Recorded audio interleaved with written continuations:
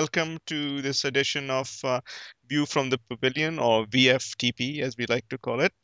Um, I have, uh, I guess, three main items we I want to talk to you about today, um, and uh, I want to really kick off straight away because we, I guess, in interest of time, um, the first one I want to talk to you about is the situation with uh, Muhammad Amir. Now we know that uh, you know there's a lot of noise from Mr. Sethi. Uh, there is uh, uh, statements, his interview with us, and so on and so forth. But how do you see his uh, situation, and and most importantly, do you think he should be allowed back? Um, two elements to this, in my opinion, Amir. Firstly, the uh, the Pakistan Cricket Board chairman and the Pakistan Cricket Board stance regards to Mohammad Amir. Um, I'm a little bit uncomfortable with um, with that stance in that they are really pushing for his return and uh, for his um, you know availability before the five year ban. Now, don't forget these guys were banned for five years. Um, the problem I've got is this um, constant you know, spiel from the chairman with regards to Muhammad Amir. It's Muhammad Amir this, Muhammad Amir that. I think whatever the Pakistan Cricket Board are trying to achieve and whatever their aims are with regards to this cricketer, they should keep it behind closed doors. Whatever's discussed at the PC at the um, ICC meetings with regards to Muhammad Amir should not be, um, you know, communicated to the media because that just fuels more speculation and it basically makes the Pakistan Cricket Board look in the cricketing world as if they are really trying to push and um, you know try and get some leeway for a, for a banned cricketer. Now, as far as his return is concerned, the second uh, point to your question, um, as I say, he was banned for five years. In my opinion, as far as international cricket is uh, concerned, yes, I'm fine with him um, coming back after five years initially I was one of those guys who thought, should these guys ever play for Pakistan again? You know, I, I was in two minds. I wasn't sure. But now I think having thought about what's happened and, and obviously uh, being at the trial and, and um, you know, comprehended what, what's been going on with these guys, um, I'm okay with the fact that Mohammad Amir, after five years, can start playing for Pakistan again. The tricky part is, though, whether he should be allowed to play some domestic and club cricket before the five year ban. Now, in my opinion, I think there should be a short period of leeway given by the International Cricket Council, which I believe they're going to discuss in June at the next ICC meeting. In my opinion, a leeway of a few months here and there for Mohammad Amir um, is, um, you know adequate insofar as let him play some domestic cricket, let him play some club, some club cricket, so that when his five-year ban is up, you know he's he's ready to play some first-class cricket, etc. Um, and who knows, you know, come back to international cricket shortly after his his five-year ban. Mm.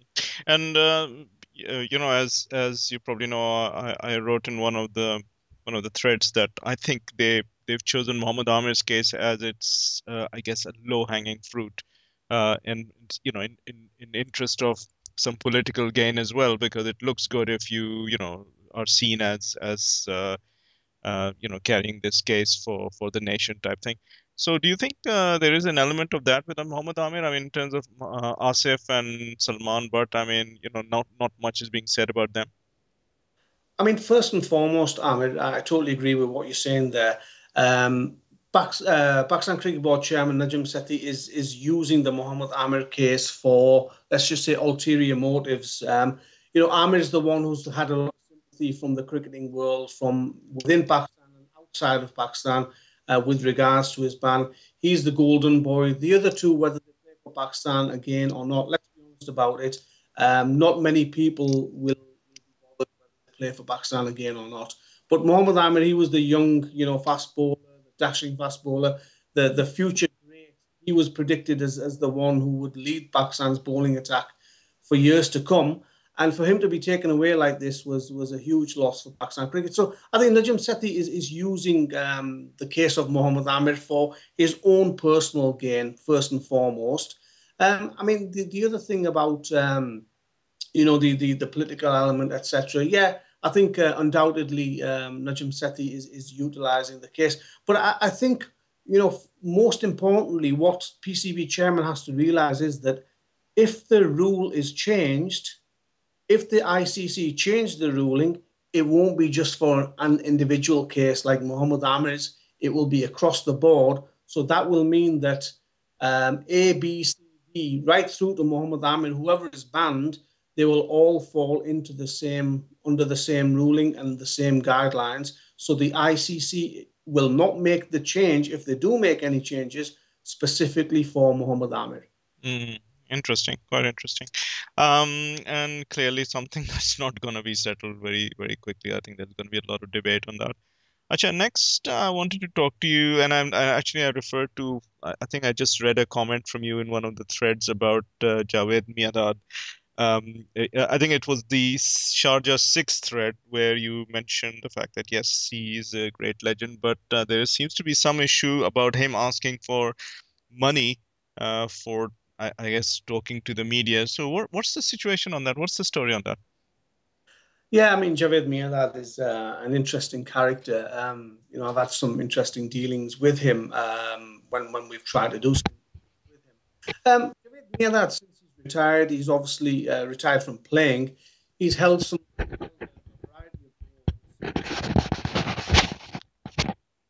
um, from coach to uh, various other positions. Um, and a lot of people would say that he's had some pretty easy money paid to him over the years. You know, he's been commanding huge salary, and a lot of people um, from within and outside of Pakistan have, have actually asked the question, what is he being paid for? Now, recently um, he resigned from his position. Um, nobody actually knows what his role was within Pakistan cricket. Um, unfortunately, um, I had a conversation with Javed Miandad, and without going into too much detail, um, he basically wanted um, a lot of money for an interview. Now, this is really disappointing because, as far as I'm concerned, uh, Javed Miandad is, is a cricketing legend. And for him to behave like that, despite the explanation that Pak Passion is a site run by volunteers, it's a non profit making organization you know, Miandad was adamant that um, he, he, wanted a huge amount of money uh, for a 30 minute interview, which, you know, is, as I say, very, very disappointing. Normally, I wouldn't go um, and broadcast this on a, on a public platform. But I think in this case, I think people should know that sometimes these cricketing legends aren't always what they appear to be. Yeah, and and, and that is a bit, uh, I guess, a bit sad. That's that's happened, but I guess that that's life. when we got to ex- accept that as well. Um, finally, I, I just wanted to um, talk to you about the uh, the issue that you raised today on the forum, and that is about the non-payment of dues to some of the uh, contracted cricketers. Um, and, and, you seem to mention that they haven't been paid since December, for especially for the people who haven't been in international matches. Uh, how how did that come about? Uh, how did that conversation come about, and what's your take on that? Yeah, I've spoken with um, three centrally contracted uh, cricketers in um, various categories, um, some who have been playing international cricket recently and um, others who haven't been playing international cricket. So let me just clarify. Firstly, the only payments that contracted players have been receiving have been match fees for uh, matches that they've played in uh, for Pakistan and also if they've been part of a recent squad. Um, December 2013 was the last time the centrally contracted players received their monthly retainer from the Pakistan Cricket Board. So anybody who is still centrally, centrally contracted has not received a single rupee since December 2013, apart from those match fees that I've just referred to. Hmm. So the conversations were basically uh, quite similar with all three players, really. and they were all um, speaking about their concerns and their issues with regards to A, the handling of the way the central contracts are done and issued.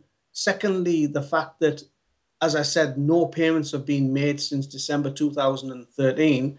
And thirdly, the issue of um, the lack of a players' union in, in Pakistan. Because the, one of the players, the biggest gripe um, he had was that, you know, would something like this five month delay of monthly retainers, monthly salaries being paid, would that actually happen in, say, Australia, South Africa, or England? I mean, there's absolutely no chance because those places have uh, players' unions.